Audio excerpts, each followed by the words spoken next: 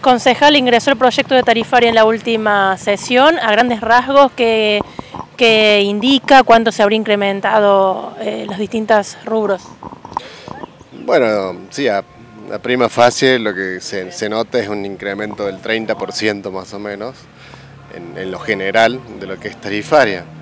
Pero eh, como vos bien decís, se está por hacer la primera lectura, la vamos a hacer seguramente el lunes eh, próximo y ahí empezaremos a ver o, a limar cosas que veamos que por ahí el 30% es, demasiado.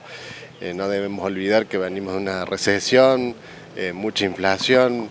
entiendo también y entendemos por parte del bloque que la municipalidad también tiene que ayornarse con lo que es la inflación, pero este, todo tiene que ser con un precio justo y una medida justa. Entonces, estamos haciendo algunas revisiones, nosotros estamos haciendo algunas observaciones.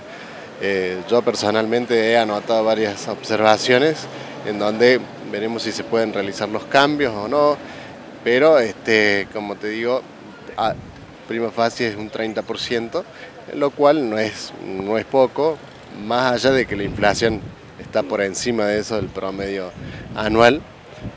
Este, pero lo que nosotros tenemos que ver es también el bolsillo de la gente. Más allá de que si el 30% que dice el Ejecutivo está bien o está mal, lo que tenemos que ver a veces es si el 30% o si los números que están dando... ¿El lunes se realizará la primera lectura? El lunes se va a realizar la primera lectura y de ahí vamos a ir viendo los cambios. Después tenemos audiencia pública y después recién segunda lectura. todo este tramo vamos a tener para analizar y ver todos los costos, en cuánto se han incrementado y cuánto irán a quedar. Hay costos que creemos que están por encima de lo que debería ser y hay costos que quizás habría que ajustar, pero no estamos hablando de, para la gente común, sino para eh, grandes inversiones que por ahí vemos que comparativamente a veces es más lo que paga un comercio chiquito que uno grande comparativamente. Entonces esas cosas hay que ir ajustándola para ver a futuro de que eso sea equitativo y sea lo mejor para, todos. ¿no? ¿Recibieron la visita de, estudiantes del Colegio Alemán en la última sesión? Sí, tuvimos los alumnos del Colegio Alemán, lo cual siempre es grato tener un intercambio con jóvenes que en realidad van a ser el futuro de Villa General algunos seguirán la política, otros no, pero eso siempre es importante de que estén vinculados y sepan de qué se trata el Consejo o el Ejecutivo y ver de qué manera también nosotros darle información para que ellos tengan bien de claro de qué se trata el Consejo y que no solamente se trabaja un solo día a la semana, sino que estamos abocados a la tarea de consejar los siete días de la semana. Como le decíamos chicos, no hay horario, no hay feriado. La gente cuando te consulta, siempre te consulta, este, sea el día que sea, y nosotros estamos para eso.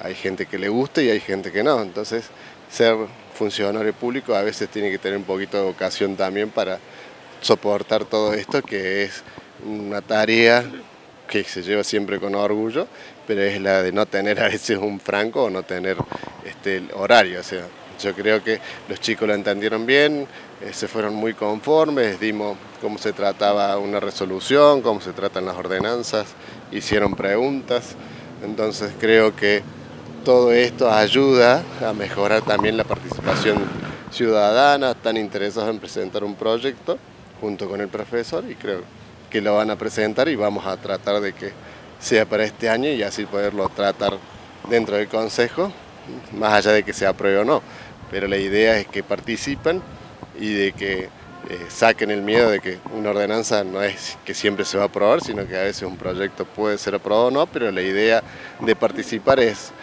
eh, convocar a, todos y que presenten alguna idea. ¿Recibieron nota de los vecinos que se oponen a la instalación de las antenas en los, en los lugares previstos? Sí, se presentaron unos vecinos con una carpeta para dar el informe, el punto de vista de ellos. Eh, tenemos bien en claro que este, todo es dialogable, eh, hay que escucharlos, hay que sentarse, dialogar con ellos. Primero vamos a leer, por supuesto, lo que ellos han presentado, el escrito que han presentado, y de ahí nos sentaremos a dialogar, el Ejecutivo estaba eh, convocando a gente de NACOM para que venga, den las explicaciones y así se sacan las dudas, porque a veces en todo esto es más la cantidad de desinformación que tienen y los miedos a veces por mala información. Entonces lo que queremos es que quede bien en claro, que el vecino se saque todas las dudas y por supuesto también como plantearon algunos vecinos, a veces no es que no quieren que pongan la, la antena, sino que también ver si se puede evitar que se pongan en una plaza eh, por una cuestión también estética, así que yo creo que también eso también es dialogable, no es que eh, se va a poner sí o sí en la plaza, así que eh, todo eso lo estaremos escuchando, dialogaremos y ahí veremos de qué, qué, camino seguirán todo este tema de las antenas. Una cosa que hay que tener bien en claro es que la villa es un punto turístico de los 10 mejores de la Argentina, entonces no podemos estar sin servicio y tanto sin servicio para el vecino como para el turista. Entonces tenemos que estar a la altura de lo que queremos ser y brindar el servicio es uno de, los requisitos que siempre el turismo que es exigente de Villa General, de exige.